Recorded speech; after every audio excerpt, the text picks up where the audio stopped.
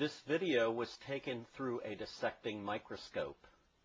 You're looking at nine fully developed eggs of the malaria mosquito, Anopheles gambiae.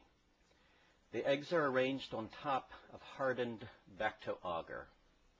Eggs are about one half millimeter long. Normally, they would either develop within puddles of water or on the mud nearby. Sometimes this mud and the puddles dry out under tropical sunshine.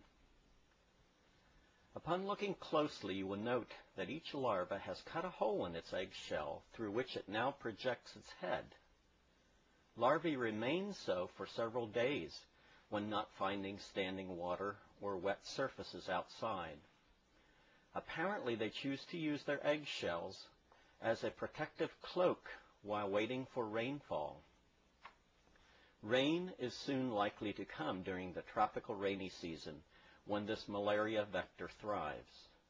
The dark circle at the center of this frame is a small opening connected by tubing to a syringe filled with water.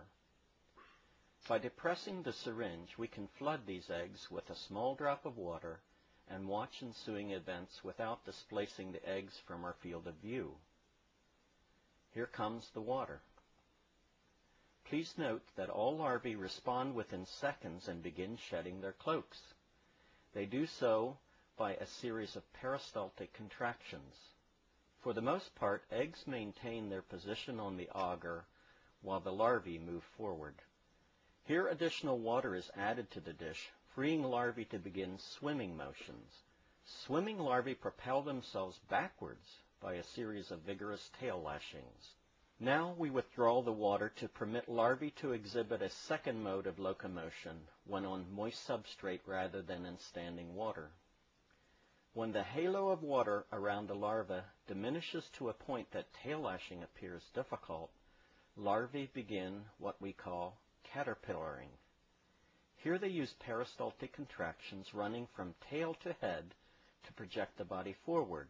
Both tail lashing and caterpillaring enable larvae to move about so as to increase the probability of finding a puddle that might be nearby.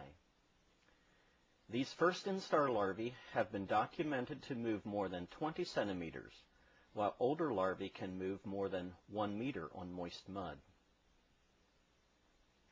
Larvae are able to caterpillar only when there is sufficient moisture for them to maintain a halo of water about their bodies that provides buoyancy and lubrication.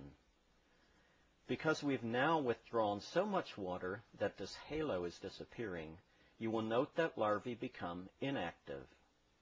Even so, we have found that they are able to survive for over eight hours in the sunshine and longer under darkness. Under natural conditions, it's very likely that sufficient rains will fall to rescue these larvae by forming a puddle around them or by washing them into a nearby puddle.